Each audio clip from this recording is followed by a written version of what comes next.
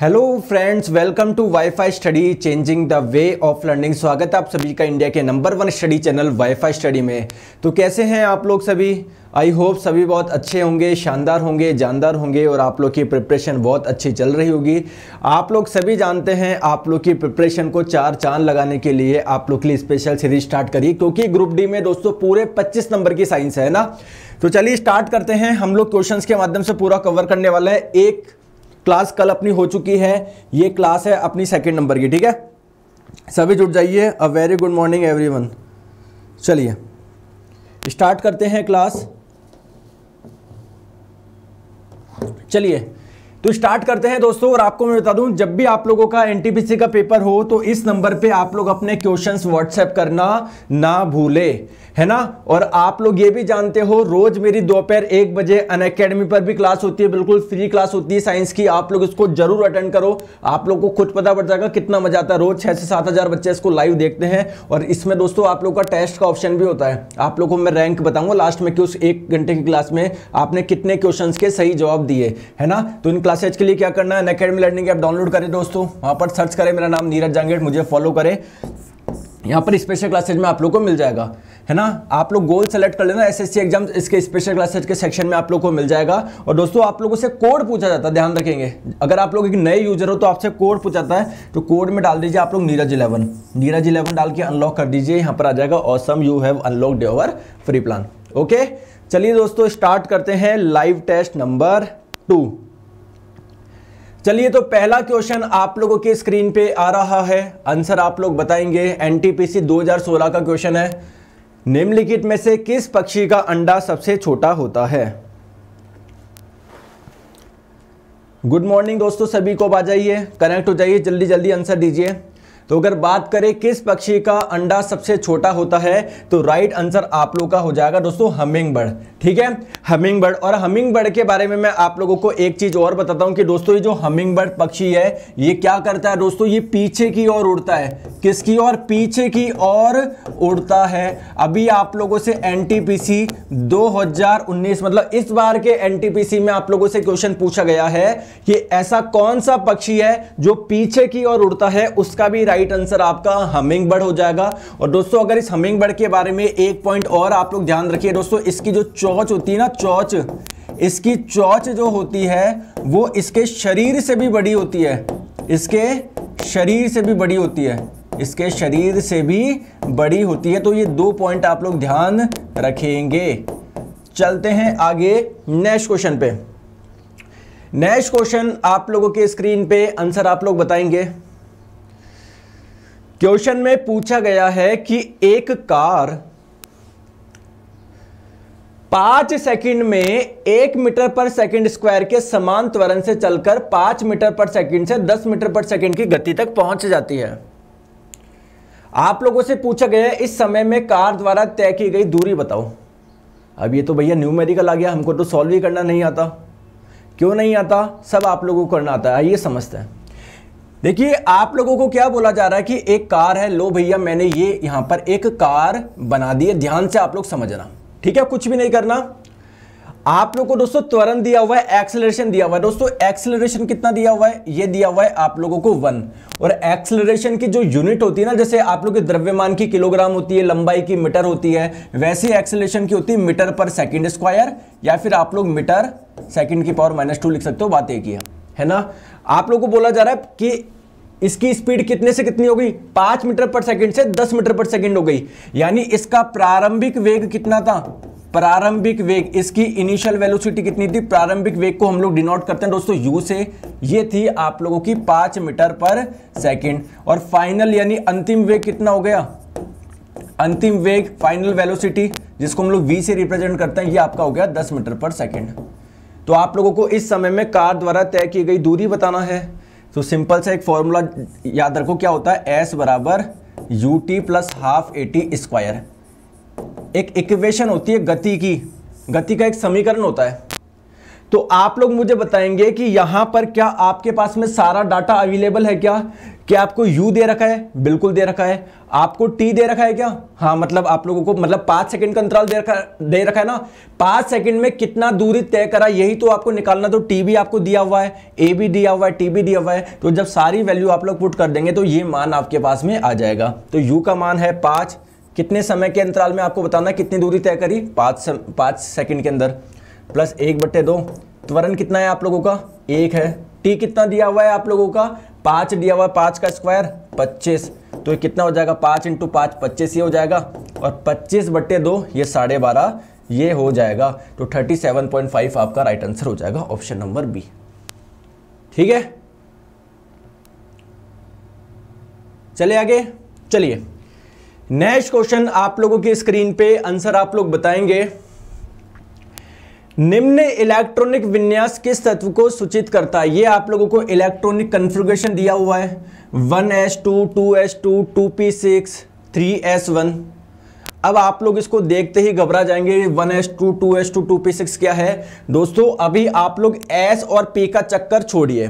जैसे मैं आप लोगों को बताता हूँ, ध्यान से देखेंगे, ये आप लोग का मान लीजिए न्यूक्लियस हो गया, ये पहली कक्षा हो गई, ये दूसरी कक्षा हो गई, ये तीसरी कक्षा हो गई। तो दोस्तों, इनको हम लोग क्या बोलते हैं? शैल बोलते हैं। शैल और हिंदी में हम लोग इनको बोलते हैं कोश। इतनी से बात समझ में आ गई?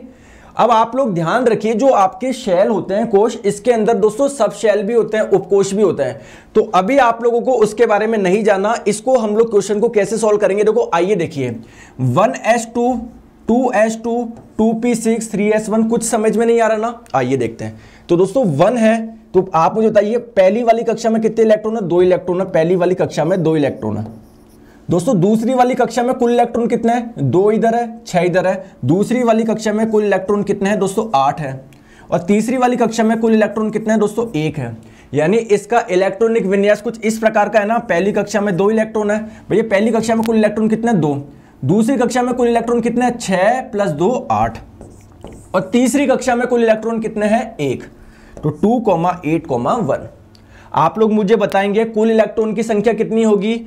आठ और एक, नौ। और दो, ग्यारह। तो कुल इलेक्ट्रॉन की संख्या आपके पास में आ गई ग्यारह। दोस्तों, ध्यान रखिए, इलेक्ट्रॉन जितने होते हैं, प्रोटोन भी उतने ही होते हैं। यानी मैं आप लोगों से पूछूँ, प्रोटोन की संख्या कितनी हो गई? ग्यारह हो गई। और प्रोटोन की संख्या आपको क्या बताता है? एटॉमिक नंबर बताता है परमाणु क्रमांक। यानी इसमें प्रोटोन की संख्या ग्यारह है तो इसका परमाणु क्रमांक भी ग्यारह होगा। तो इनमें से कौन सा आप लोगों का तत्व ऐसा है, जिसका परमाणु क्रमांक ग्यारह होता है? वो होता है आपका सोडियम का। एल्यूमिनियम का तो तेरह होता है दोस्तों, सल्फ़र का सोलह होता है। समझ पा रहे हो आपको? Hydrogen, helium, lithium, beryllium, boron, carbon, nitrogen, oxygen, fluorine, neon, sodium. Sodium आता है आपके ग्यारहवें नंबर पे। तो राइट आंसर आपका हो जाएगा ऑप्शन नंबर ए ठीक है? दोस्तों, मैं चाहूँ तो आपको बहुत सिंपल सिंपल क्वेश्चन भी करवा सकता हूँ, लेकिन आप लोगों को पता है ग्रुप डी में बहुत अच्छे अच्छे क्वेश्चन आते हैं तो हम लोग एक एक क्वेश्चन को बड़े आसानी से समझ लेंगे टेंशन मत लो। आंसर आप लोग बताएँगे, निम्नलिखित में सर सबसे भारी धातु कौन सी है? हैवीएस्ट मेटल के बारे में आपको बताना है। दोस्तों, कई बार क्वेश्चन को घुमा के भी पूछा जा सकता है कि इनमें से कौन सी धातु ऐसा है जिसका घनत्व सबसे ज़्यादा है, जिसकी डेंसिटी सबसे ज़्यादा है? तो आप लोगों से चाहे ये पूछ ले किसकी डेंसिटी सबसे ज़्यादा है, या फिर ये पूछ ले सबसे भारी धातु कौन सी है, अब इसका मतलब क्या है दोस्तों? एक ही है। तो अगर बात करें दोस्तों, सबसे हल्की धातु की, अगर लाइटेस्ट मेटल की बात करें, हल्की धातु की बात करें तो आपका आंसर हो जाएगा दोस्तों लिथियम क्या हो जाएगा? लिथियम। लेकिन अगर आप लोगों से सबसे भारी धातु हैवीएस्ट मेटल की बात करें तो राइट आंसर आपका हो जाएगा ऑस्मियम ठीक है? तो ऑप्शन नंबर डी इसका करेक्ट आंसर हो जाएगा। दोनों याद रखेंगे, सबसे हल्की धातु लिथियम होती है और सबसे भारी धातु आपकी ऑस्मियम होती है। चलिए आगे। नेक्स्ट क्वेश्चन आप लोगों की स्क्रीन पे। आंसर आप लोग बताएँगे। मैग्नेटाइट का आप लोगों को केमिकल फॉर्मूला बताना है। अब बात आती है मैग्नेटाइट क्या होता है? दोस्तों, ये आप लोग के आयरन का और होता है, आयरन का अयस्क होता है। आप लोग बोलेंगे, नहीं समझ में आया। आइए मैं समझाता हूँ। जैसे दोस्तों, आपके जो आयरन होता है ना, इसके क्या क्या आप लोगों के और होते हैं? मिनरल होते हैं। मिनरल को हम लोग हिंदी में बोलते हैं खनिज। तो जैसे बात करें हेमेटाइट, मैग्नेटाइट लीमोनाइट और सिड्राइट, ये सारे क्या है दोस्तों? आपके आयरन के मिनरल्स हैं। दोस्तों, मिनरल्स का मतलब क्या होता है? जिनमें आप लोगों का आयरन पाया जाता है। जैसे मैंने आप लोगों को बोला कि जो सिड्राइट है ये आयरन का मिनरल है, इसका मतलब क्या है? इसमें आपका आयरन पाया जाता है। तो आप लोगों से पूछा जा रहा है, मैग्नेटाइट का फॉर्मूला क्या है? तो मैग्नेटाइट जो होता है, ये भी आप लोगों का एक आयरन का मिनरल है। इसका फॉर्मूला होता है Fe3O4 तो right answer option number B हो जाएगा। और अगर आप लोगों से पूछे, इसमें कितने प्रतिशत आयरन पाया जाता है तो बेहतर इसमें आयरन पाया जाता है। चले आगे। चलिए नेक्स्ट क्वेश्चन आप लोगों की स्क्रीन पे। आंसर आप लोग बताएँगे। जीवाश्म ईंधन जलने पर मुक्त होने वाले कार्बन, नाइट्रोजन और सल्फ़र के जो ऑक्साइड्स होते हैं ना, इनकी प्रकृति क्या होती है, आप लोग को बताना है। जैसे आप लोग दोस्तों लकड़ी जलाओगे तो कार्बन डाइऑक्साइड निकलती नहीं निकलती? तो जैसे मान लो कार्बन डाइऑक्साइड निकल रही है तो ये कार्बन का ऑक्साइड हुआ या नहीं हुआ? समझ रहे बात को? तो आप लोग जब भी फॉजिल फ्यूल को जलाओगे तो किस किस के ऑक्साइड प्रोड्यूस होते हैं? कार्बन के भी नाइट्रोजन के भी सल्फ़र के। तो ये क्या होते हैं? इनकी प्रकृति क्या होती है? दोस्तों, ध्यान रखेंगे हमेशा जो मेटल के ऑक्साइड्स होते हैं ना मेटल के ऑक्साइड्स यानी जो धातु के ऑक्साइड होते हैं ना, उनकी प्रकृति हमेशा क्या होती है? क्षारीय होती है। वो बेसिक नेचर के होते हैं। और जो आप लोगों के नॉन मेटल होते हैं, यानी आप लोग के जो अधातु होते हैं तो नॉन मेटल के जो ऑक्साइड्स होते हैं, इनकी प्रकृति क्या होती है? अम्लीय प्रकृति के होते हैं। ये आप लोगों के एसिडिक नेचर के होते हैं। समझ में आ गया बात को? तो आप लोग ध्यान रखेंगे, जो कार्बन है, नाइट्रोजन है, सल्फ़र है, ये तीनों के तीनों क्या है? नॉन मेटल है, अधातु है। और नॉन मेटल के जो ऑक्साइड्स होते हैं, वो किस प्रकृति के होते हैं? अम्लीय प्रकृति के होते हैं। तो राइट आंसर आपका ऑप्शन नंबर बी हो जाएगा। चले आगे। सर इसका पीडीएफ का मिलेगा? क्लास के बाद मिल जाएगा टेंशन मत लो। और मेरा टेलीग्राम ग्रुप है Neeraj sir WiFi study group उसमें भी आप लोग का मिल जाएगा टेंशन आप लोग ना लीजिए। चलिए। नेक्स्ट क्वेश्चन आप लोगों से क्वेश्चन में पूछा गया कि निम्नलिखित में से किससे अधिकांश से किडनी का स्टोन बनता है? जो किडनी में पथरी हो जाती है, वो किसकी बनती है? कौन से कंपाउंड की बनती है? ये आप लोगों से पूछा गया है। तो राइट आंसर बताएँगे, जल्दी से सिंपल सा क्वेश्चन है। ये आपका हो जाएगा calcium oxalate right answer option number A और अगर आप लोगों से इसका फॉर्मूला भी पूछा जाए तो फॉर्मूला भी याद रखेंगे। सी ए सी टू ओ फोर इसका क्या हो जाएगा? फॉर्मूला हो जाएगा किसका? कैल्शियम ऑक्सिलेट का। क्या होता है ये? जो हमारे किडनी में पथरी बनती है, वो इसी कंपाउंड की बनती कैल्शियम ऑक्सिलेट चलो आगे। नेक्स्ट क्वेश्चन आप लोगों की स्क्रीन पे। मुक्त रूप से गिरना केवल डैश में संभव है। Free fall is possible only in अब पहले हम लोग समझते हैं फ्री फॉल होता क्या है। जैसे मैंने आप लोगों को बोला कि मैंने किसी ऑब्जेक्ट को ऐसे छोड़ दिया, बिल्कुल ऐसे छोड़ दिया। किसी ऐसे फोर्स से नहीं लगाया, बिल्कुल ऐसे छोड़ दिया, बिल्कुल ऐसे छोड़ दिया, बिल्कुल ऐसे छोड़ दिया। तो क्या मैं इसको फ्री फॉल बोलूँगा क्या? नहीं दोस्तों फ्री फॉल की डेफिनेशन क्या होती है? जैसे मान लीजिए कोई भी एक एम द्रव्यमान की वस्तु है। समझ गए? मान लीजिए केवल ये, है ना? ये मान लीजिए पेन है। आप लोग इसको छोड़ोगे तो नीचे की ओर आएगा ना? क्यों? क्योंकि दोस्तों, नीचे की ओर एक फोर्स लगता है जिसको हम लोग बोलते हैं एमजी क्या बोलते हैं एमजी और ये फोर्स आया कहाँ से? क्योंकि आप लोग जानते हैं, कोई भी दो वस्तु आपस में एक दूसरे को आकर्षित करती है। तो जैसे मान लीजिए जो हमारी अर्थ होगी तो अर्थ भी तो इसको अपनी ओर अट्रैक्ट कर रही होगी। तो बस इतनी सी चीज़ आप लोग ध्यान रखेंगे कि कोई भी एम द्रव्यमान की वस्तु होती है, उस पर नीचे की ओर एक फोर्स लगता है एम अगर दोस्तों, इस एम के अलावा कोई और फोर्स नहीं लग रहा है तो इसको हम लोग बोलेंगे फ्री फॉल जैसे आप लोग मुझे बताइए, अभी जस्ट मैंने छोड़ दिया तो इस पे एम के अलावा कोई और फोर्स लग रहा है क्या? आप लोग बोलेंगे एमजी के अलावा कोई और फोर्स लग ही नहीं रहा, लेकिन ये बिल्कुल गलत है। दोस्तों, जो एयर है, वायु है, उसका भी तो कुछ फोर्स लग रहा होगा। जैसे मान लीजिए नीचे आ रही है तो एयर क्या करेगी? इस पर प्रतिरोध लगाएगी, नहीं लगाएगी? तो आप लोगों पे अगर किसी बॉडी पर एम के अलावा कोई भी फोर्स नहीं लग रहा है, तब जाके हम लोग इसको फ्री फॉल बोलेंगे। अब क्या दोस्तों समुद्र में पॉसिबल है क्या? अगर आप लोग समुद्र में छोड़ोगे तो पानी की वजह से भी कोई फोर्स लगेगा। समुद्र में पॉसिबल नहीं है। दोस्तों, वायु में, जैसे मैं बोल रहा हूँ कि वायु में छोड़ोगे तो दोस्तों कुछ वायु का भी कुछ फोर्स होगा। यहाँ पर भी पॉसिबल नहीं है। एटमोस्फेयर वही वाली बात हो गई, वायु। तो कहाँ पर ये पॉसिबल है दोस्तों? वैक्यूम में। वैक्यूम का मतलब होता है जहाँ पर कुछ भी नहीं हो एयर भी नहीं हो।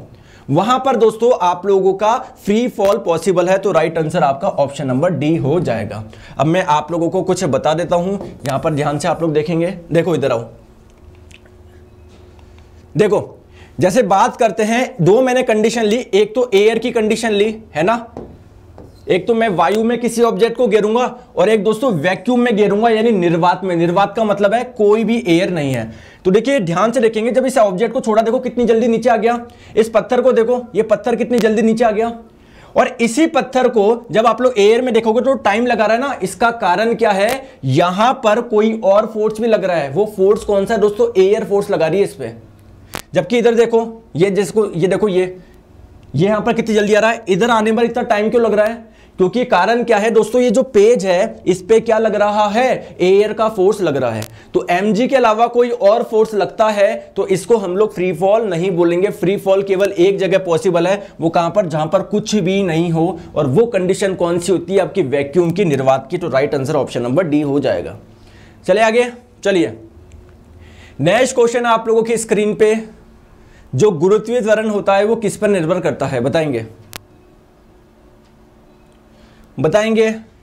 तो बात करते हैं दोस्तों, जैसे मान लीजिए ये हमारी अर्थ है। इस अर्थ का दोस्तों कोई ना कोई तो रेडियस होगा ही, और इस अर्थ का कोई ना कोई तो द्रव्यमान होगा ही होगा।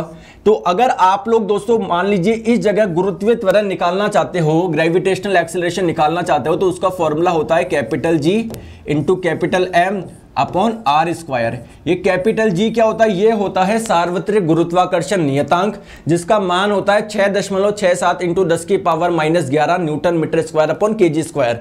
दोस्तों, ये एम क्या होता है? पृथ्वी का द्रव्यमान। ये आर क्या होता है? पृथ्वी की त्रिज्या। जब सारे मान आप लोग इधर रखेंगे तो आपका आंसर आ जाएगा नाइन मीटर पर सेकेंड स्क्वायर।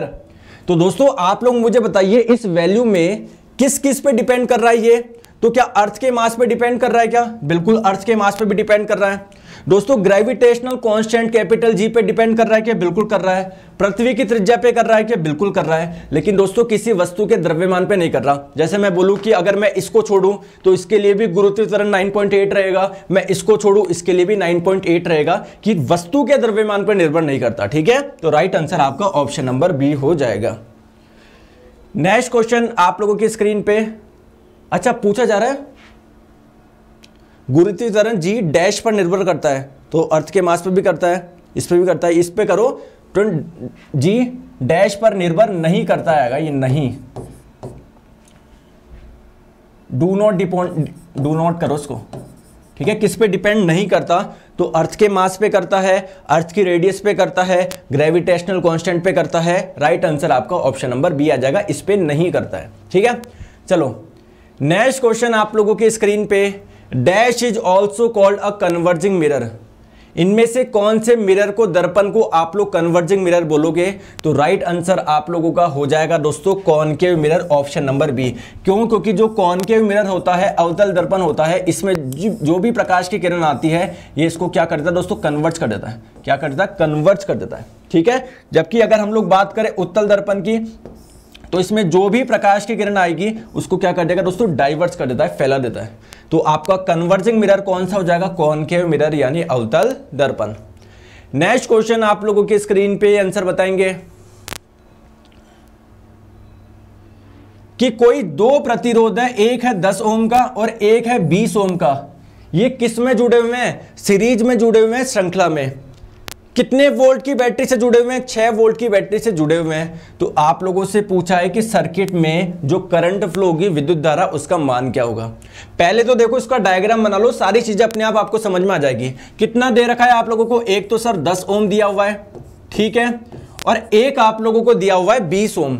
ये दोनों किसमें जुड़े हुए हैं? श्रृंखला में जुड़े हुए हैं, सीरीज़ में जुड़े हुए हैं। जैसे मान लो ये दस ओम और इसी के आगे दोस्तों आप लोगों का 20 ओम का प्रतिरोध दोस्तों सीरीज़ में हो गया ना श्रृंखला में, ठीक है?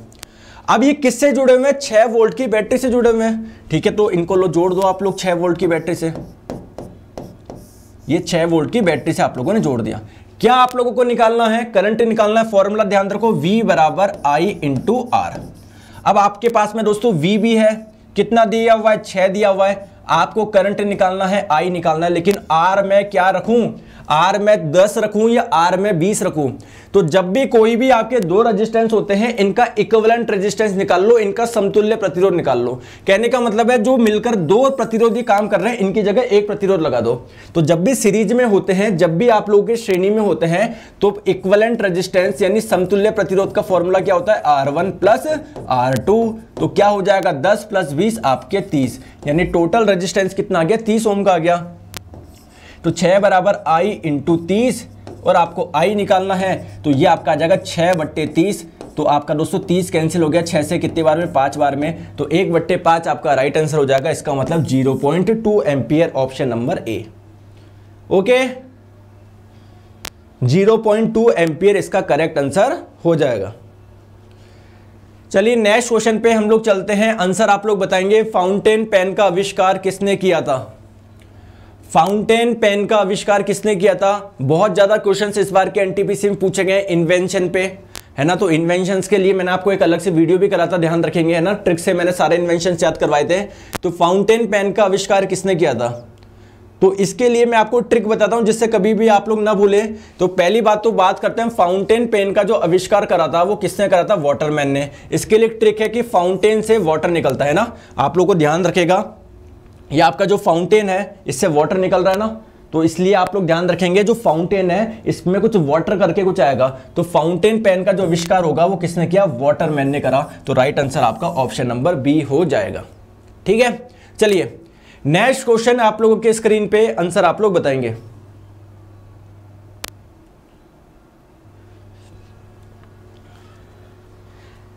क्वेश्चन आपकी स्क्रीन पे बताएँगे। बोर के एटम के मॉडल की अभिधारणा के अनुसार, देखिए दोस्तों, हर साइंटिस्ट ने, बहुत सारे साइंटिस्ट ऐसे थे जिन्होंने एटम के बारे में बताया कि एटम ऐसा होता होगा, एटम इंडिविजिबल होता होगा एटम में ऐसी कक्षाएँ होती होगी, ठीक है? एटम में जो न्यूक्लियस होता है, नाभिक होता है, उसमें प्रोटॉन और न्यूट्रॉन रहते हैं इलेक्ट्रॉन बारी कक्षाओं में चक्कर लगाते हैं। तो सबने अपनी अलग अलग अवधारणा बताई। सिमिलरली दोस्तों बोर ने भी अपना एक कॉन्सेप्ट बताया, किसके रिगार्डिंग एटम के बारे में, परमाणु के बारे में। तो इन्होंने क्या बताया? आइए मैं समझाता हूँ आप लोग को। देखो, ध्यान से समझिए, ये आप लोग जो रेड कलर वाला भाग देख रहे हो, ये तो हो जाएगा आपका न्यूक्लियस यानी नाभिक ये पहली कक्षा हो जाएगी, ये दूसरी कक्षा हो जाएगी। तो दोस्तों, इसको मैं नाम दे देता हूँ, नंबर वन। ये आप लोग की पहली कक्षा हो गई और ये आप लोगों की दूसरी कक्षा हो गई। पहले मैं आप लोगों से पूछना चाह रहा हूँ कि आप लोगों को क्या लगता है, पहली कक्षा में जो इलेक्ट्रॉन घूम रहे होंगे, उनकी एनर्जी ज़्यादा होगी या दूसरी कक्षा में जो इलेक्ट्रॉन घूम रहे होंगे, उसकी एनर्जी ज़्यादा होगी? तो आपकी जानकारी के लिए बता दूँ कि जो न्यूक्लियस के जितना पास रहेगा, उसकी एनर्जी उतनी ही कम रहेगी। उसकी एनर्जी, उसकी ऊर्जा क्या रहेगी दोस्तों? कम रहेगी। और जो न्यूक्लियस से जितना ज़्यादा दूर रहेगा, उसकी एनर्जी क्या रहती है? ज़्यादा रहती है। तो बोर क्या बताते हैं? बोर ये बताते हैं कि जैसे मान लीजिए पहली कक्षा में कोई इलेक्ट्रॉन क्या कर रहा है? दोस्तों, घूम रहा है। क्लियर है क्या? अगर आप इसको एनर्जी दे दोगे तो ये दूसरी वाली कक्षा में आ जाएगा। या फिर आप लोग इसका उल्टा भी समझ सकते हो। मान लीजिए दूसरी कक्षा में कोई इलेक्ट्रॉन आप लोगों का घूम रहा है। अगर इसने एनर्जी रिलीज़ कर दी, इसने अगर एनर्जी लॉस कर दी तो उसके पास में एनर्जी कम हो जाएगी और ये पहली वाली कक्षा में आ जाएगा। तो बोर के अकॉर्डिंग अगर पहली कक्षा से दूसरी में, दूसरी से तीसरी में, तीसरी से चौथी में अगर आपको किसी इलेक्ट्रॉन को पहुंचाना है तो उसको एनर्जी देनी होगी। और अगर दोस्तों वो एनर्जी रिलीज़ करता है, लॉस करता है तो दोस्तों वो न्यूक्लियस की तरफ़ खिंचा चला चला आता रहेगा, है ना? न्यूक्लियस की तरफ़ आ जाएगा। तो देखते हैं। It goes to the it moves into the next ये एक ही कक्षा में रहता है, लेकिन तेज़ी से दोलन करता है। इट एमिट लाइन नहीं अच्छा जब एक इलेक्ट्रॉन ऊर्जा के फोटोन को अवशोषित करता है, ऊर्जा के फोटोन का मतलब क्या? ऊर्जा का पैकेट। जब ये एनर्जी को एब्जॉर्व करेगा तो कहाँ पर आएगा मुझे बताएँगे? तो मैंने आप लोगों को बोला, देखिए, यहाँ वाली कक्षा में जैसे इसके पास में एनर्जी आई तो देखो, दूसरे में चला गया ना ये। देखो, वापस एनर्जी आएगी, दूसरे में चला गया। तो जैसे ये एनर्जी एब्जॉर्व करता है, इसके बाह्यतम कक्षा में ये आ जाएगा। तो क्या हो जाएगा? जल्दी से मतलब बताओ, यह भीतरी कक्षा में चल जाता कि नहीं? ये अगले भारी कक्षा में चला जाता राइट आंसर आपका ऑप्शन नंबर डी हो जाएगा। चले दोस्तों, चलिए। नेक्स्ट क्वेश्चन आप लोगों के स्क्रीन पे आंसर बताएँगे। एटम का न्यूक्लियस मॉडल यानी परमाणु का नाभिक मॉडल पहली बार किसके द्वारा खोजा गया था? तो नाभिक मॉडल का मतलब क्या है? किसने बताया था कि एटम में दोस्तों न्यूक्लियस होता है, नाभिक होता है। और कल ही हम लोगों ने डिस्कस किया था यह बताया था दोस्तों रदरफोर्ड ने। इन्होंने एक एक्सपेरिमेंट करा था जिसको हम लोग गोल्ड फॉइल एक्स एक्सपेरिमेंट बोलते हैं ना। सोने की चादर पे दोस्तों इन्होंने अल्फ़ा पार्टिकल की स्कैटरिंग करी थी ना। तो उस एक्सपेरिमेंट से इन्होंने निष्कर्ष निकाला था कि एटम का अधिकांश भाग खोखला है और इसका बीच में कुछ पार्ट पाया जाता है जिन्हें इन्होंने क्या नाम दिया? न्यूक्लियस नाम दिया, नाभिक नाम दिया। तो किसने किया था दोस्तों? रदरफोर्ड राइट आंसर हो जाएगा option number A next question आप लोगों के स्क्रीन पे आंसर बताएँगे। डैश में एक और से दूसरी ओर जाने पर तत्वों के संयोजी इलेक्ट्रॉन में वृद्धि होती है। आप लोग दोस्तों पीरियड में लेफ़्ट से राइट में जाएँगे या आप लोग ग्रुप में एक जगह से दूसरी जगह पर जाएँगे तो कहाँ पर जाने पर संयोजी इलेक्ट्रॉन में वृद्धि होती है? पहले हम लोग समझते हैं दोस्तों संयोजी इलेक्ट्रॉन होते क्या है? बाहरी कक्षा में जो इलेक्ट्रॉन होते हैं ना, बाह्यतम कक्षा में। भाइतम कक्षा में जो इलेक्ट्रॉन्स होते हैं ना भाइतम कक्षा में इलेक्ट्रॉन जो होते हैं, उन्हीं को हम लोग क्या बोलते हैं? वैलेंस इलेक्ट्रॉन बोलते हैं। तो हम लोगों को देखना है कहाँ पर कहाँ पर जाने पर ये बढ़ते हैं। तो आइए दोस्तों, एक एग्जांपल देखते हैं सिंपल सी बात। जैसे मैंने आप लोगों को बोला कि ये पहली पीरियड हो गया, ये दूसरा, ये तीसरा, ये चौथा। एक काम करते हैं, किसी एक पीरियड को पकड़ लेते हैं। ये वाला पीरियड पकड़ ले। एक तो ये वाले पीरियड पे देख लेते हैं हम लोग, और एक इस वाले ग्रुप पे देख लेते हैं, वर्ग पे। तो पहले हम लोग बात करते हैं दोस्तों ग्रुप को चेक करते हैं। कोई ये ले लो स्टार्टिंग के तीन ले लो हाइड्रोजन लिथियम और सोडियम हाइड्रोजन का एटॉमिक नंबर होता है दोस्तों एक लिथियम का होता है तीन सोडियम का होता है ग्यारह। हाइड्रोजन का एटॉमिक नंबर वन होने का मतलब है इसमें इलेक्ट्रॉन की संख्या कितनी है दोस्तों? वन है। चलिए। अगर बात करें दोस्तों एटॉमिक नंबर तीन है, परमाणु क्रमांक तीन, इसका मतलब इसमें इलेक्ट्रॉन की संख्या तीन है। तो पहली कक्षा में दोस्तों, दो इलेक्ट्रॉन आ सकते हैं, दूसरी कक्षा में एक इलेक्ट्रॉन आ सकता है। सोडियम का एटॉमिक नंबर 11 है इसका मतलब इसमें इलेक्ट्रॉन की संख्या 11 है। पहली कक्षा में कितने इलेक्ट्रॉन आ सकते हैं? दोस्तों दो आ सकते हैं। दूसरी कक्षा में आठ आ सकते हैं। बचा हुआ एक अगली कक्षा में चला जाएगा।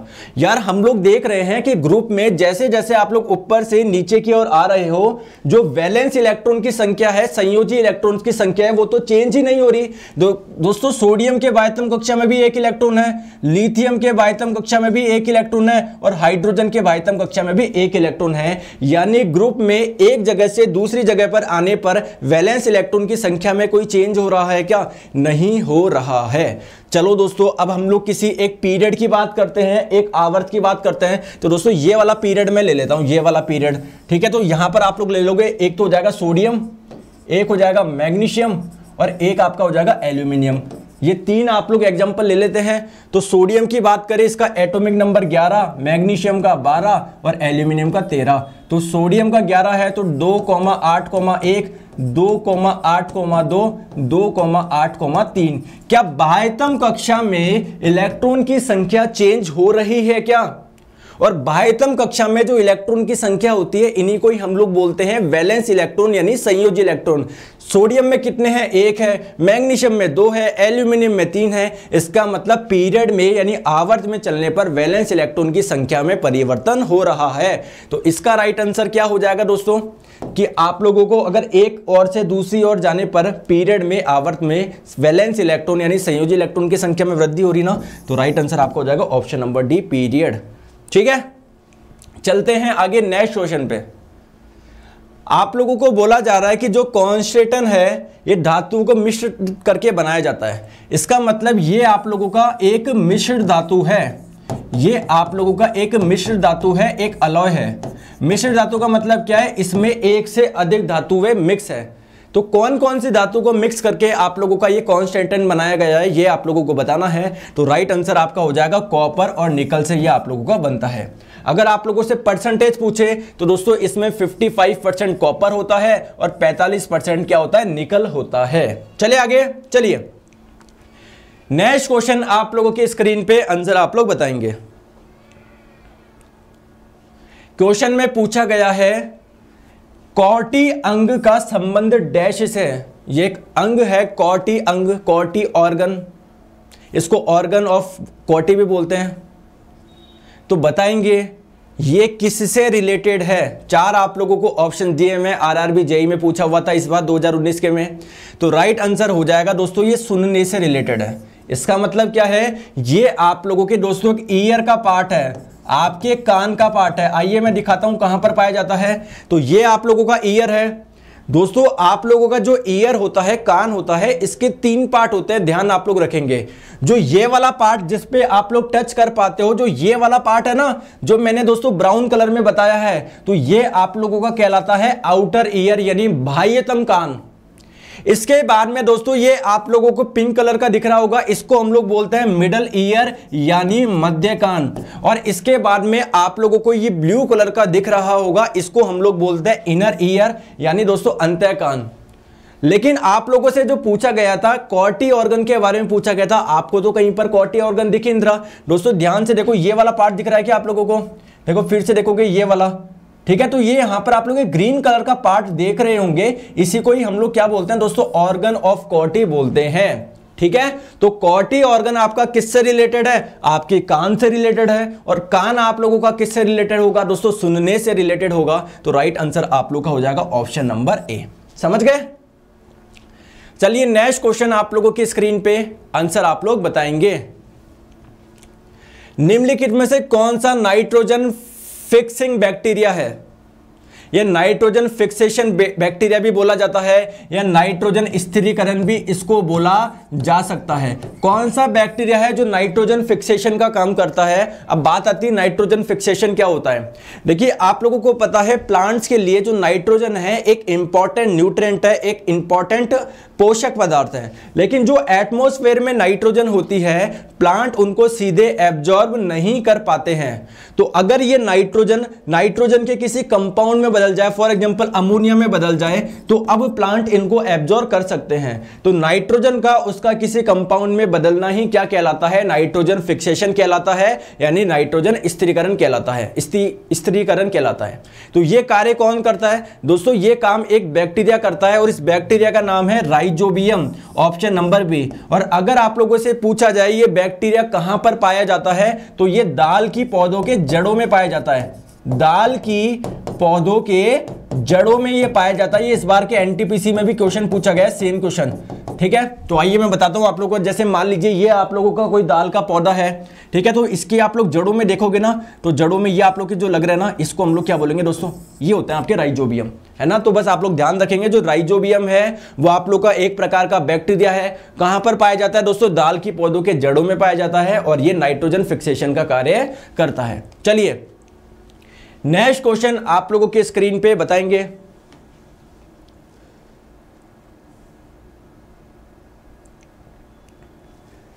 क्वेश्चन आपके स्क्रीन पे है, निम्नलिखित में से किस समूह में बैक्टीरिया जैसे प्रोकैरोटिक कोशिका तंत्र वाले एक कोशिका के जीव समाविष्ट है? जैसे देखिए, आप लोगों को पता है, हमारे पास में बहुत सारे एलिमेंट्स थे केमिस्ट्री में। हम लोगों ने इनको क्लासिफाई किया ना, किन्हीं को पहले ग्रुप में रखा, किसी को दूसरे ग्रुप में रखा, किसी को तीसरे में रखा, किसी को अठारहवें ग्रुप में रखा। क्यों? क्योंकि इन सभी की प्रॉपर्टी अलग अलग थी। तो दोस्तों, हमारे जो धरती होती है, इसमें लाखों करोड़ों प्रकार के जीव पाए जाते हैं। इनको भी हम लोगों को क्लासीफाई करना ज़रूरी था। तो इनको हम लोग पाँच किंगडम में, यानी पाँच जगत में क्लासीफाई करते हैं। मोनेरा, प्रोटेस्टिया, प्लांटिया, है ना, फंगस। समझ हो? तो उसमें से बोला जा रहा है कि कौन सा ग्रुप ऐसा है जिसमें हम लोग बैक्टीरिया जैसे जीवों को रखा जाता है। अब बैक्टीरिया क्या है? दोस्तों, बैक्टीरिया आप लोगों का एक प्रोकैरियोटिक ऑर्गेनिज्म है। प्रोकैरियोटिक ऑर्गेनिज्म का मतलब क्या है कि जिनमें प्रोकैरियोटिक सेल पाई जाती है। अब आप लोग बोलेंगे, प्रोकैरियोटिक सेल का मतलब क्या है? दोस्तों, ऐसी कोशिका जिसमें न्यूक्लियस केंद्रक वेल डेवलप नहीं होता, अच्छे से विकसित नहीं होता, इस प्रकार की कोशिका को हम लोग बोलते हैं प्रोकैरियोटिक। समझ में आ गया? तो जितने भी आप लोगों के प्रोकैरियोटिक सेल वाले जीव है है ना, जैसे आप लोगों का बैक्टीरिया हो गया, और ध्यान रखेंगे जो एक कोशी की भी है यूनिसेल्युलर भी है। यूनिसेल्युलर का मतलब है ऐसा जीव जो केवल और केवल एक सेल से मिलकर बना है। जैसे ह्यूमन बॉडी तो बहुत सारी सेल से मिलकर बनी है। ऐसा जीव जो केवल एक सेल से मिलकर बना है, और जिनमें कौन सी सेल पाई जाती है? प्रोकैरियोटिक। तो इनको हम लोग रखते हैं दोस्तों मोनेरा में। तो राइट आंसर आपका हो जाएगा ऑप्शन नंबर बी। चलते हैं आगे नेक्स्ट पे। नेक्स्ट क्वेश्चन आप लोगों के स्क्रीन पे। निम्नलिखित तत्वों में से किसमें कुल तीन कोश है? तीन शेल बोल सकते हो, तीन कक्षा बोल सकते हो, और बाहरी कक्षा में आठ इलेक्ट्रॉन है। तो देखो, यहाँ से आप लोगों को एक पॉइंट समझ में आना चाहिए, बाहरी कक्षा में आठ इलेक्ट्रॉन है। हर कोई एलिमेंट चाहता है उसके सबसे भाईतम वाली जो कक्षा हो, उसमें आठ इलेक्ट्रॉन हो। ऐसा क्यों चाहता है? क्योंकि अगर किसी के बाह्यतम कक्षा में आठ इलेक्ट्रॉन होते हैं तो वो क्या कर लेता है दोस्तों? वो स्टेबल हो जाता है, वो स्थायित्व प्राप्त कर लेता है।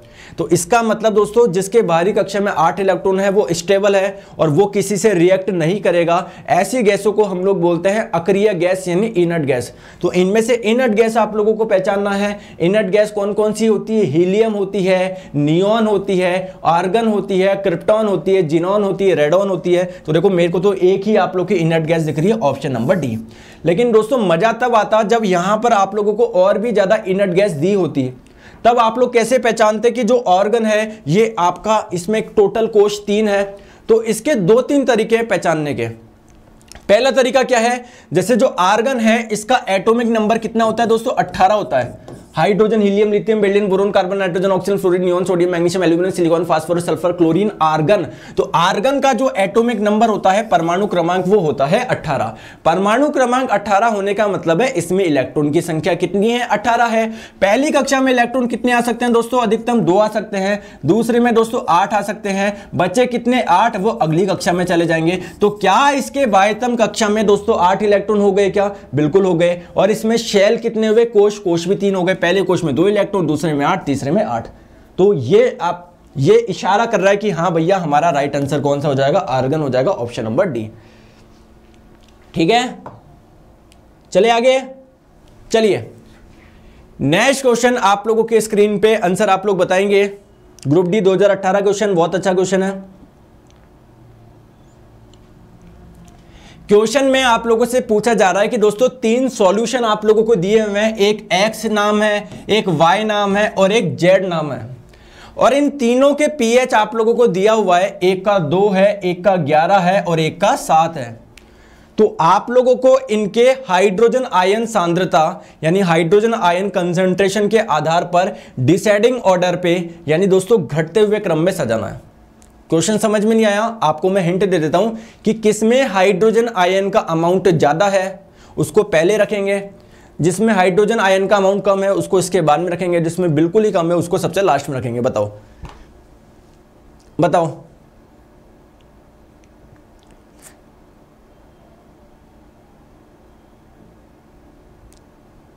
आंसर बताएँगे। क्या इसका आंसर होना चाहिए? तो देखिए, आइए इसके हम लोग सॉल्यूशन समझते हैं।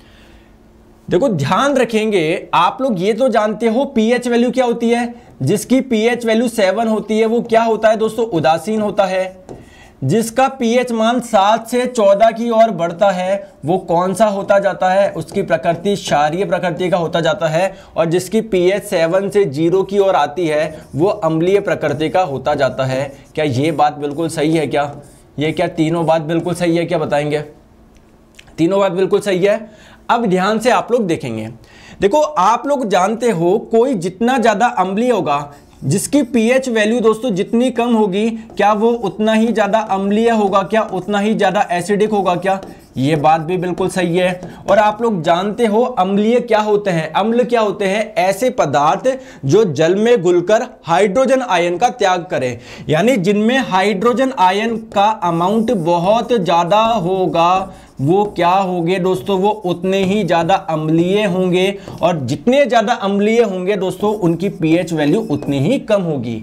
यानी जिसकी पीएच वैल्यू सबसे कम है सबसे कम किसकी है दोस्तों? इस एक्स वाले की है। यानी ये सबसे ज़्यादा अम्लीय है। इसमें हाइड्रोजन आयन का कंसेंट्रेशन सबसे ज़्यादा है। तो एक्स सबसे पहले आएगा दोस्तों। एक्स सबसे पहले आएगा। इसके बाद में पीएच किसकी है दोस्तों? ये सात। पीएच किसकी है दोस्तों? सात है ना? तो आप लोग का जेड तो इसमें हाइड्रोजन आयन का जो कंसंट्रेशन होगा सांद्रन होगा अमाउंट होगा, वो क्या होगा दोस्तों? एक्स से कम होगा। तो एक्स के बाद में आपका आएगा जेड और उसके बाद में दोस्तों ग्यारह। ठीक है, इसमें तो बिल्कुल ही आपका हाइड्रोजन आयन का कंसेंट्रेशन बहुत कम होगा। तो राइट आंसर आपका ऑप्शन नंबर बी हो जाएगा। ठीक है? बी इसका करेक्ट आंसर हो जाएगा ऑप्शन नंबर बी क्योंकि आप लोगों को बताना है कि देखिए सिंपल सी बात समझिए, आप लोगों को यह दिखाना था कि हाइड्रोजन आयन सांद्रता के अवरोही क्रम में सजाना है डिसेंडिंग ऑर्डर में। ठीक है? डिसेंडिंग का मतलब क्या है दोस्तों? किसमें हाइड्रोजन आयन का कंसेंट्रेशन ज़्यादा है? फिर किसमें कम है? किसमें कम है दोस्तों? जो जितना ज़्यादा एसिडिक होता है, उसमें हाइड्रोजन आयन का कंसेंट्रेशन उतना ही ज़्यादा होता है। तो पीएच वैल्यू दोस्तों, जिसकी सबसे कम होगी, पहले वो ढूंढो।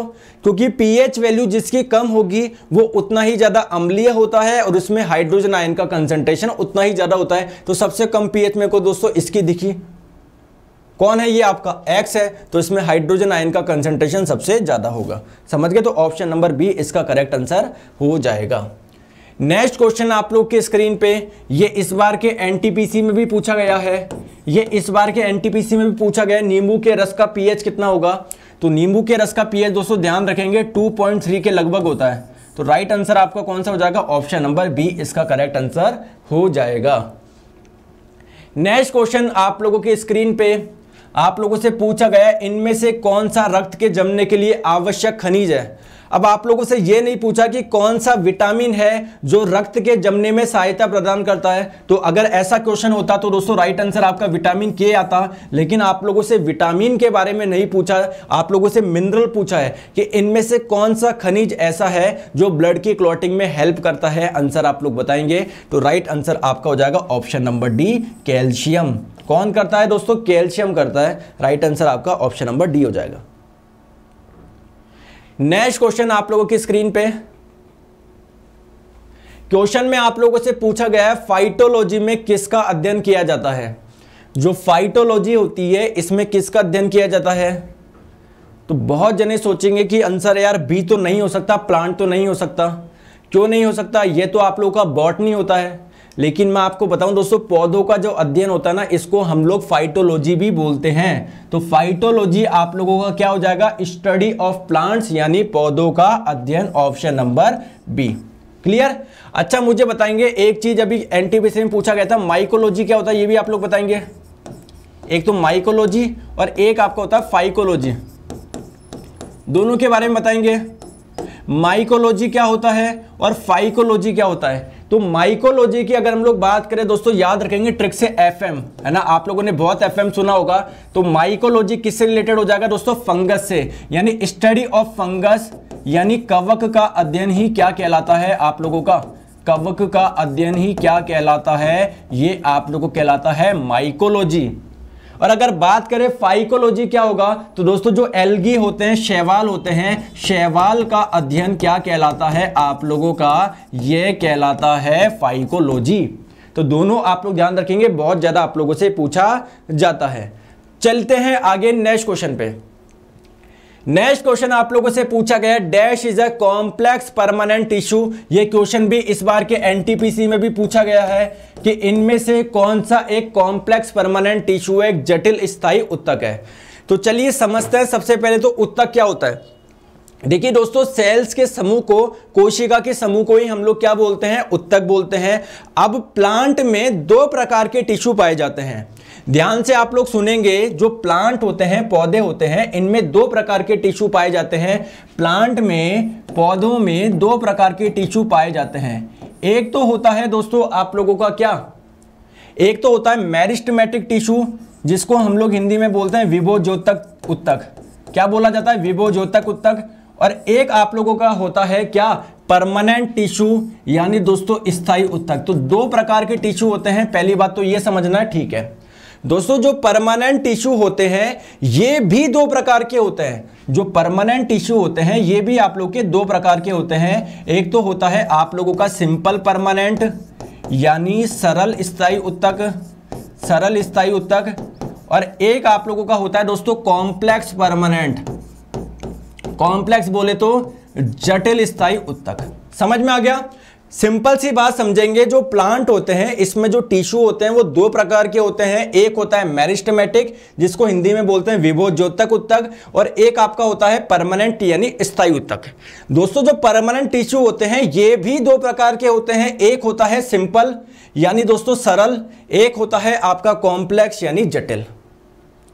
अगर आपके बात बताऊँ सिंपल परमानेंट टिश्यू जो होते हैं, इसके कौन कौन से एग्ज़ाम्पल होते हैं? तो अगर बात करें दोस्तों सिंपल परमानेंट टिश्यू जो होते हैं, यानी सरल स्थायी उत्तक होते हैं, ये आपके तीन इसके एग्ज़ाम्पल है पेरेन काइमा कॉलेन काइमा और स्क्लेरन काइमा जबकि जो कॉम्प्लेक्स परमानेंट टिश्यू है, कहने का मतलब है जटिल स्थायी उत्तक है, वो आप लोगों के क्या है? इसके दो एग्जांपल है। एक हो जाएगा जाइलम एक हो जाएगा फ्लोएम तो आप लोगों को इसमें से दोस्तों कॉम्प्लेक्स को सेलेक्ट करना था जटिल को। जटिल कौन से होते हैं? दो दो होते हैं, जाइलम और फ्लोएम।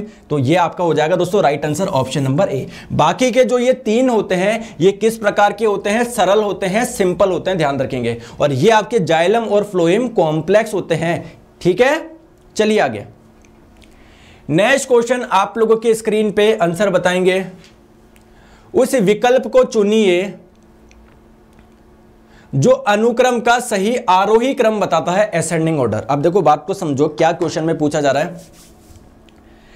आप लोगों को पता है, किसी भी व्यक्ति का जब आप लोग एड्रेस बताते हो तो क्या क्या ज़रूरी होता है? सबसे पहले ये ज़रूरी होता है कि दोस्तों वो कौन से देश से है, उसके बाद में कौन से राज्य से है, उसके बाद में कौन से शहर से है, उसके बाद में कौन सी कॉलोनी से है, उसके बाद में दोस्तों कौन सी गली में है, उसके बाद में कौन से घर में है और उसके बाद में भी कौन से कमरे में है वो। क्या ये सब चीज़ आप लोगों को बताने की ज़रूरत होगी क्या? बिल्कुल ज़रूरत होगी। और आपकी जानकारी के लिए मैं बता दूँ सेम ये सभी चीज़ें जीवों पे भी अप्लाई होती है। जैसे मैं भी आप लोगों से पूछूँ तो हमारे लिए क्या क्या चीज़ आती है कि भाई तेरा किंगडम क्या है? इसके बाद में किंगडम बता दिया। तो किंगडम को आप लोग समझिए कि भाई तू कौन से देश से है? इसके बाद में कोई व्यक्ति पूछता तू कौन से राज्य से है? यानी किंगडम के बाद में दोस्तों पूछा जाता है उसका फाइलम फाइलम को हम लोग बोलते हैं किंगडम को हम लोग बोलते हैं जगत। किंगडम को हम लोग बोलते हैं जगत। और फाइलम को हम लोग बोलते हैं दोस्तों संघ। फिर फाइलम के बाद में पूछा जाता है कि भाई तू कौन से क्लास से है? फिर उसके बाद में कौन से ऑर्डर है तेरा? तेरी फैमिली क्या है? तेरा जीनस क्या है? तेरी स्पीसीज क्या है? तो आप लोगों को दोस्तों असेंडिंग ऑर्डर पे तो सबसे जो लो लेवल होता है दोस्तों, वो स्पीसीज होता है, जिसको हम लोग बोलते हैं जाति। क्लियर है क्या? जैसे मैं आप लोगों से पूछूँ, आप कहाँ से हो? आप लोग बोलोगे, मैं इस एरिया से हूँ, जयपुर एरिया से हूँ। तो ये बिल्कुल छोटी चीज़ हो गई। फिर अगर मैं राज्य पूछता तो राजस्थान बताते, देश पूछता तो भारत बताते, ठीक है? तो ध्यान से आप लोग रखेंगे कि सबसे पहले दोस्तों क्या होती है? स्पीसीज होती है, बिल्कुल बेसिक स्पीसीज के बाद में जीनस जीनस के बाद में फैमिली फैमिली के बाद में ऑर्डर ऑर्डर के बाद में क्लास क्लास के बाद में फाइलम फाइलम के बाद में किंगडम। आप लोग ध्यान रखेंगे दोस्तों, क्या हर एक जीव का किंगडम अलग होगा क्या? उसका दोस्तों मैं आप लोगों से पूछूँ, ऑर्डर अलग होगा क्या? बिल्कुल अलग होगा। लेकिन क्या आप लोग सभी के ये सारी चीज़ें याद रख सकते हैं क्या? अरे भैया, हिंदुस्तान में कितने लोग हैं? इतने करोड़ों लोग हैं। क्या आप लोग सभी के याद रख सकते हो कि इसका प्लॉट नंबर ये है? इसकी गली नंबर ये है इसका शहर ये है नहीं याद रख सकते ना? तो सिमिलरली हम भी हर एक जीव की species genus family order class phylum kingdom ये सब याद नहीं रख सकते। हम लोगों को याद रखना है तो सिर्फ़ ह्यूमन का रखना है। तो अगर बात करें दोस्तों ह्यूमन की, यानी दोस्तों मानव की तो ह्यूमन का जो किंगडम होता है, कौन से किंगडम को बिलोंग करता है? ये एनिमेलिया या फिर आप लोग एनिमल किंगडम भी बोल सकते हो, जंतु जगत भी बोल सकते हो। इसके बाद में अगर आप लोगों से पूछे आपका फाइलम क्या है तो हमारा फाइलम होता है दोस्तों कोडाटा। क्या होता है? कोर डेटा हमारा क्या होता है? फाइलम होता है। हमारी क्लास के बारे में पूछा जाए तो क्लास होती है हमारी मेमेलिया या फिर मेमल्स भी बोला जाता है। तो अभी के लिए बस इतना याद रखो दोस्तों। ऑर्डर क्या रहता है? सबसे नीचे आता है स्पीसीज फिर आता है जीनस फिर फैमिली फिर ऑर्डर फिर क्लास फिर फाइलम फिर किंगडम तो ऑप्शन नंबर डी इसका करेक्ट आंसर हो जाएगा। ठीक है?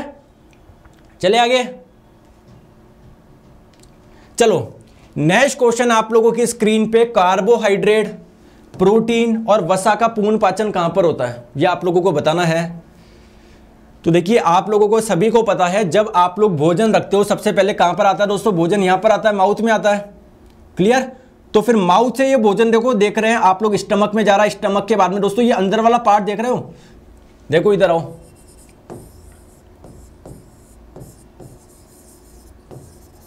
देखो तो आप लोग जो भी भोजन रखोगे, सबसे पहले माउथ में रखोगे। माउथ से दोस्तों स्टमक में जाएगा। स्टमक के बाद में ये अंदर वाली जो देख रहे हो ना, ये है आपकी छोटी आती है आप।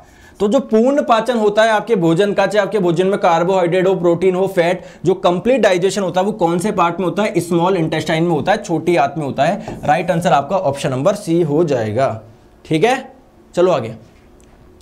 नेक्स्ट क्वेश्चन आप लोगों से पूछा गया है, रजिस्टिविटी की ऐसा यूनिट क्या है, प्रतिरोधकता की ऐसा इकाई क्या है? तो प्रतिरोध की नहीं पूछी अगर प्रतिरोध की पूछता तो आंसर हमारा ओम हो जाता। आप लोगों से पूछा गया प्रतिरोधकता की। तो आइए समझते हैं प्रतिरोधकता क्या होती है। दोस्तों, मान लीजिए ये कोई एक वायर है, जिसकी लंबाई क्या है? एल है, और इसका ये जो एरिया है अनुप्रस्थ काट क्षेत्रफल है, वो मान लीजिए आप ए है। तो इसका जो प्रतिरोध होता है, उसका फॉर्मूला होता है rho into L upon A ये रो क्या है? इसी को ही हम लोग बोलते हैं रजिस्टिविटी यानी प्रतिरोधकता। एल क्या हो जाएगी? तार की लंबाई हो जाएगी। ए क्या हो जाएगा? दोस्तों, ये क्षेत्रफल हो जाएगा। तो अगर मैं आप लोगों से पूछूँ रजिस्टिविटी क्या हो जाएगी? तो आप लोग बोलेंगे R into A upon L ठीक है? अब आप लोग मुझे इसकी यूनिट बताएँगे, इसके मात्रक। तो रजिस्टेंस को किसमें नापते हो? प्रतिरोध को ओम में नापते हो। एरिया का होता है मात्रक मीटर स्क्वायर, लंबाई का होता है मीटर। तो दोस्तों, ये ऊपर एक मीटर, इस मीटर से कैंसिल हो गया तो क्या बच्चा ओम इंटू मीटर। तो ये ही क्या हो जाएगा आप लोगों का? प्रतिरोधकता का ऐसा ही मात्रक हो जाएगा ऐसा ही इकाई हो जाएगी option number A next question आप लोगों की स्क्रीन पे आंसर आप लोग बताएँगे। ई का सिलिकॉन जाना जाता है। ये क्या है? ई का सिलिकॉन क्या है ये? किसको बोलते हैं? सिलिकॉन को बोलते हैं गैलियम को बोलते हैं जर्मेनियम को बोलते हैं एल्यूमिनियम को बोलते हैं। बताएँगे? तो ये ई का सिलिकॉन किसके बोला जाता है?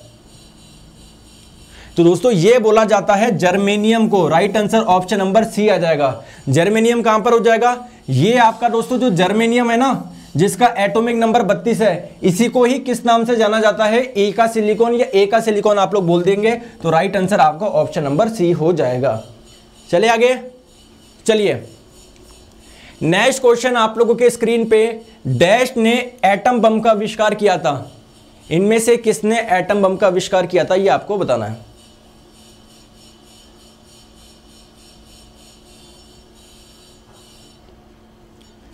एटम बम का आविष्कार किसने किया था? तो इसकी एक ट्रिक याद रखेंगे आप लोग।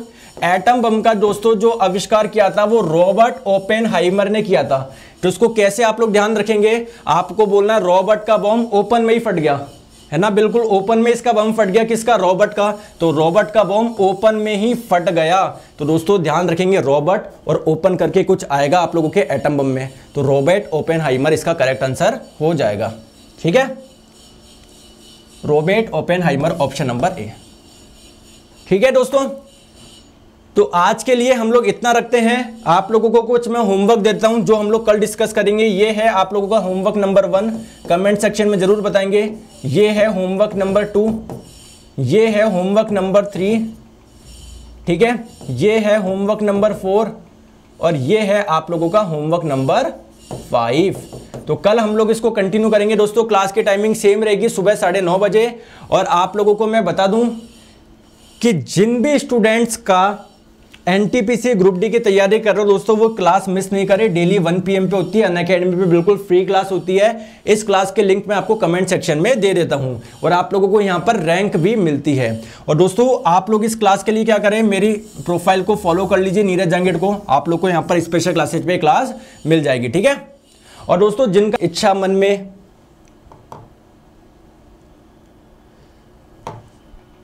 और बताइए, अरे क्लास के बाद में कमेंट करके आप लोग बता दीजिएगा। और ध्यान रखेंगे दोस्तों, जो भी नए स्टूडेंट हो तो आप लोगों से कोड पूछा जाता है। जब आप लोग क्लास में आते हो एक बजे वाली में तो नीरज ग्यारह कोड आप लोग लगा दीजिएगा। नीरज ग्यारह से आप लोग मेरे साथ तो जुड़ी जाएँगे। बाकी के टीचर्स की भी आप लोगों को क्लास दिख जाएगी। और बताओ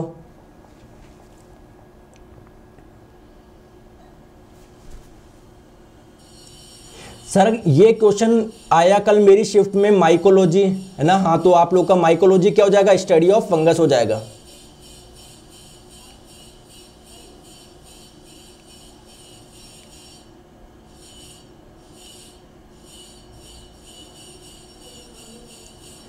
सर, चार पीएम पे स्पेशल क्लास फिर से लगाओ। करेंगे फिर से भी एक बजे वाले, आप देखो। हाँ डाल देंगे पीडीएफ डाल देंगे टेलीग्राम पे भी डाल देंगे, ठीक है? तो दोस्तों आजकल इतना रखते हैं और मैं आपको बता दूँ, अपनी बेस्ट प्लेटफॉर्म आप लोगों को एसएससी प्रिपरेशन का है अन अकेडमी सब्सक्रिप्शन यहाँ पर आप लोगों को दोस्तों, चालीस हज़ार घंटे का रिकॉर्डेड कंटेंट मिलता है, बीस हज़ार प्रैक्टिस क्वेश्चन अवेलेबल है, और हर वीक आप लोगों को तीस से ज़्यादा नए बैच मिलते हैं। और दोस्तों, जितने भी कोर्सेज है, सबका सब्सक्रिप्शन मतलब सबका एक्सेस आप लोग केवल और केवल एक सब्सक्रिप्शन में ले सकते हो, चाहे मेरा पूरा कंप्लीट साइंस का कोर्स हो, या किसी का मैथ्स का कोर्स हो, सारे कोर्स आप लोगों को वहाँ पर मिल जाएँगे। तो एसएससी एग्ज़ाम्स का गेट सब्सक्रिप्शन ले से दोस्तों, चौबीस महीने का अठहत्तर का है। रेफरल कोड लगाओगे नीरज ग्यारह तो ये आप लोग का सात हज़ार का पड़ जाएगा। ठीक है? तो आज के लिए इतना रखते हैं। और दोस्तों, रात्रि साढ़े ग्यारह बजे में आप लोग को जीके और जीएस दोनों शिफ्ट का मैं एनालिसिस करवाता हूँ तो वो वीडियो आप लोग देखना ना भूलें। तो आज के लिए इतना रखते हैं। Thank you so much video को लाइक करें शेयर करें चैनल सब्सक्राइब ज़रूर करें। Bye bye